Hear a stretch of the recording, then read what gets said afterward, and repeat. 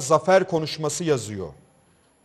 Ha, Bahoz Erdal'ı öldürdük diye açıklama Çıkacak yapmak üzere. Tansu Çiller gibi başbakan hani hatırlarsınız çıkardı şu kadar adam öldürdük bu kadar adam öldürdük diye övünürdü ya. Zafer konuşması ya da yapacak. şey gibi ve Öcalan'ın getirildiğinin Hah, duyurulması o gibi dönem daha gibi iyi. önemli. başbakana zafer konuşması yazılıyor. Bakın Ee? bunların hepsini defalarca anlattım. Bugüne kadar yalanlayabilen bir kişi çıkmadı. Samanyolu'nda anlattım. Kendi köşemde yazdım. Halk TV'de anlattım. Fakat 34 kişi ölünce içinde çoluk çocuk olduğu ortaya çıkınca Daha doğrusu neredeyse hepsinin çoluk çocuk olduğu Tabii, ortaya tabii. çıkınca.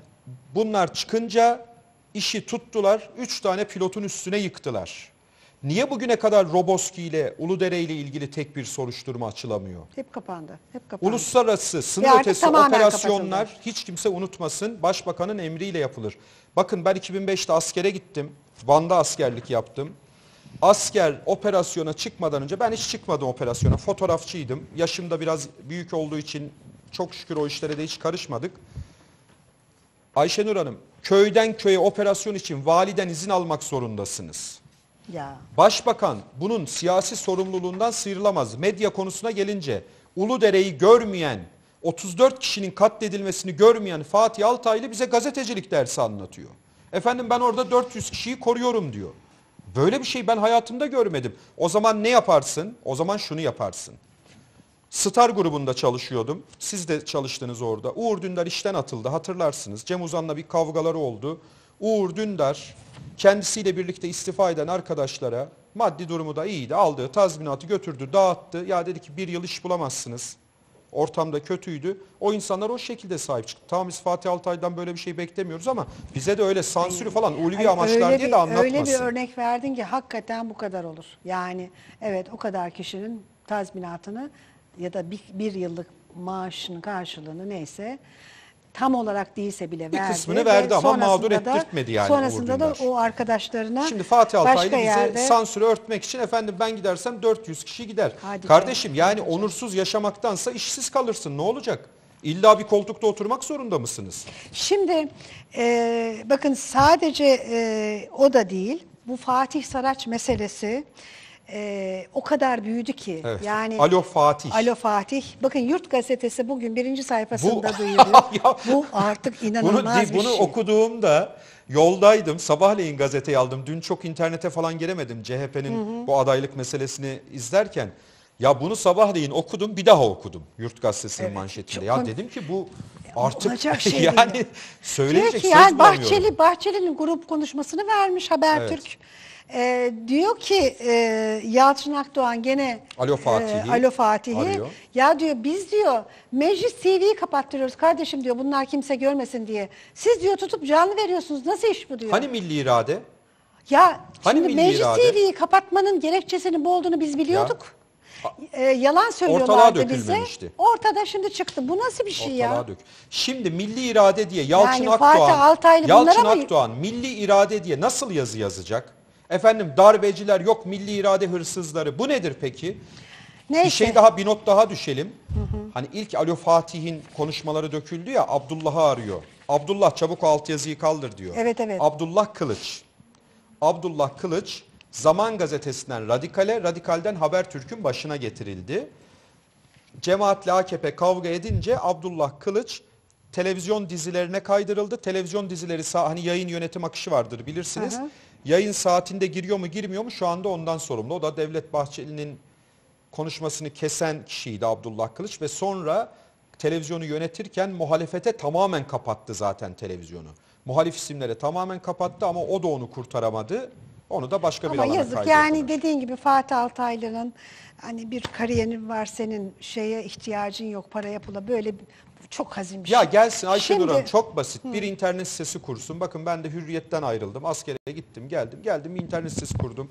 Şu anda da her gün en az 150 bin kişinin okuduğu. Ama affedersin, affedersin e, Barış da yani e, senin kazandığın parayla onun E kazandığı yaşayamaz. para değil yani. E ihtiyacı da yok. Kusura Fatih. Altaylı'nın mali durumunun herkesten iyi Olsun, olduğunu herkes olsun. biliyor ama illa Baksana Habertürk'te ben Bakanoğlu'nun, e, Kılıçdaroğlu senin anlattığın şeyi e, mecliste göstermiş, dinletmiş. Bugün Grup mü? konuşmasında. Ha, Bugün, şeyi bugün. mi? Yarım saat önce. Para meselesini mi? Para meselesini. Güler'in, ben tam okuyayım mı size? Aa, ben o Ee, izleyemedim. Biz o zaman yayındayken Şimdi anlattılar. yayındayken oluyor. e, demiş ki e, burada bir konuşmayı sizlere sunmak istiyorum. 17 Aralık'ta operasyon sabahı Barış Güler babası İçişleri Bakanı Muammer Güler arıyor. Operasyon başlamış ama. Diyor ki Barış Güler 6.30'da bunu e, görebilir miyiz bilmiyorum ama Ben hiç onu ko- e, anlatacağından o haberim görüntüyü yoktu Kılıçdaroğlu. şimdi e, ekran kurdurmuş Kılıçdaroğlu. Bir saniye bulabilirsem e, şeyi bayağı ekran kurdurmuş bildiğiniz. Evet, evet, Ve kurduracak. oradan e, şimdi bakın şunu ah, Ben oradan okuyayım mı isterseniz? hayır hayır yayınımız okumak değil şeyse? göstermeye çalışıyorum. Ha, ekran, şunu, evet. Şunu bakar mısınız arkasına ekran e, kurdurmuş görüyor musunuz? Böyle ve buradan okutmuş ok- okumuş. O şeyi harçlık bıraktım dediği değil mi? Şimdi Onu mu okumuş? hayır hayır hayır bu, bu o sabah yapılan bir şey. İşte ha. Şimdi diyor ki altı buçukta geldiler. Celal Kara diye bir savcı arama kararı çıkarmış. Muammer Güler ne var oğlum senin evinde? Hiçbir şey yok baba. Para ne var? Kendi param 3-5 kuruş kalan param. Kaç para? Ya sen biliyorsun baba. Kaç lira oğlum? Bir trilyon civarı param var o kadar. Maşallah. Harçlığa bakın. Tamam oğlum el koydular mı paraya? Yok arama yapıyorlar. Senin şimdi şimdi İçişleri Bakanı bakın İçişleri Bakanı bu konuşma yapıldığı sırada diyor ki oğluna senin şimdi anladığım kadarıyla Rıza Zarrab'la bir rüşvet ilişkisinden bahsediyorlar. Diyeceksin ki bir danışmanlık işim var gayri resmi yapıyorum. Benim alacaklı olduğum dayımın oğlu bunların yanında çalışıyor diye baba Güler daha sonra oğlunun vereceği ifadeyi toparlamış kafada. Gayri resmi ama danışmanlık hani bunun kaydı kuyduğunu elecekler. Gayri resmi yapıyorum. basit basit bir suça indirgenecek yani. Ee, Çeteden çıkıp daha basit Suça bir şeye iştirak. dönüşecek. Muammer O zaten- zaten, tabii, yaptı. tabii, tabii. Şimdi programın sonuna geldik. Ne çabuk ben hiçbir şey anlamadım. Çok çabuk Valla bitti. iki saate e, Yakın konuştuk. 8 kaldı. Ama son bir kare vereceğim. Bugün Çankaya Köşkü'nün bir misafiri vardı efendim. Çankaya Köşkü'nde Gambiya Devlet Başkanı geldi. E, şimdi görüntüsü gelecek ekranlara. Gambiya Devlet Başkanı e, Cumhurbaşkanı Gül'ün muadili. E, neyse işte e, eşiti. Dolayısıyla baş başa görüşecekler. Beyefendi geldi. E, işte son derece resmi e, bir törenle karşılandı. Görüyorsunuz beyefendi. Şimdi altında dedi ki Çankaya Köşkü'nde bir insanlık düşmanı.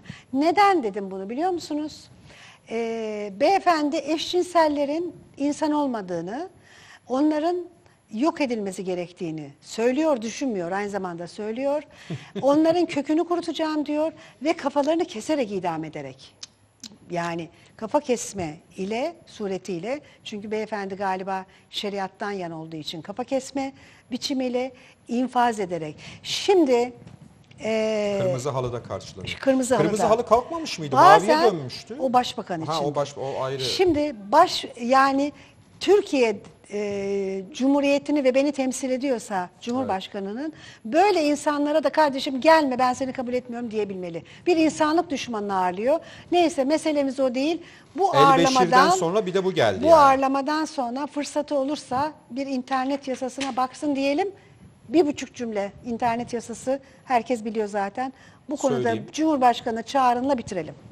Cumhurbaşkanından bir şey çıkmayacağı için hiç boşuna vakit kaybetmeyelim. Cumhurbaşkanı siyaset yapmak istiyor. AKP tabanıyla da ters düşmek istemiyor. Onu bir kenara bırakalım. Bizi ilgilendiren yanını söyleyeyim. Hükümet gazetecileri tutuklamakla yetinemedi. Bu sefer internet sitelerini tutuklamaya başladı. Evet, Artık evet. gazetecilerin yanı sıra internet siteleri de Nasılsa tutuklanıyor. tutuklu gazetecilerin benim gibi işte dışarıda bıraktıklarının dışında dümdüz ettiler Orayı dümdüz medyayı. ettik. Şimdi, sıra internet sitelerini de tutuklatmak istiyorlar. bakalım. Bunun adı sansürün kurumsallaştırılmasıdır. Sansür artık hayatımızın bir Evet. parçası haline getirilmiş. Abdullah Gül kimin cumhurbaşkanı? Göreceğiz. Sınavı var Gül'ün. Ee, Gül için bir geri sayım bu. Sadece yasa için değil. Yarın görüşmek üzere efendim. Hoşçakalın. Çok teşekkürler. Rica. Barış'cığım.